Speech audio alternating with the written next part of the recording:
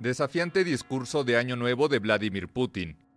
El presidente ruso aseguró el domingo que su país vive una fase histórica y será todavía más fuerte en 2024, cuando buscará la reelección para un nuevo mandato tras más de 20 años en el poder.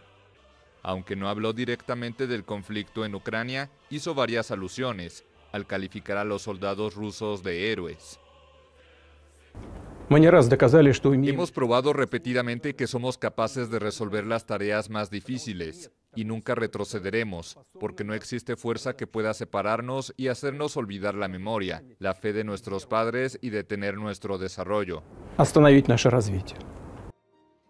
Por otro lado, su homólogo ucraniano Volodymyr Zelensky prometió destruir al ejército ruso, que invadió parte del territorio de Ucrania desde finales de febrero de 2022. І наступного року ворог відчує лють. El próximo año el enemigo sentirá la ira de la producción doméstica.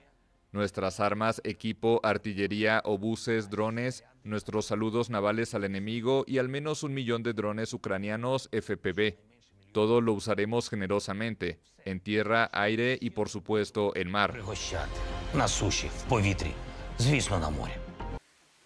Estos discursos se producen tres días después de que el ejército ruso llevara a cabo una de las ofensivas aéreas contra ciudades ucranianas más importantes desde el inicio de la guerra, provocando la muerte de 39 personas.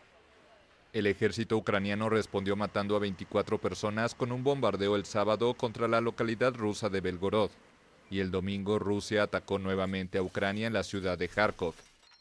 El gobierno de Kiev termina un año difícil, marcado por el fracaso de su contraofensiva y la menguante ayuda militar de sus aliados occidentales.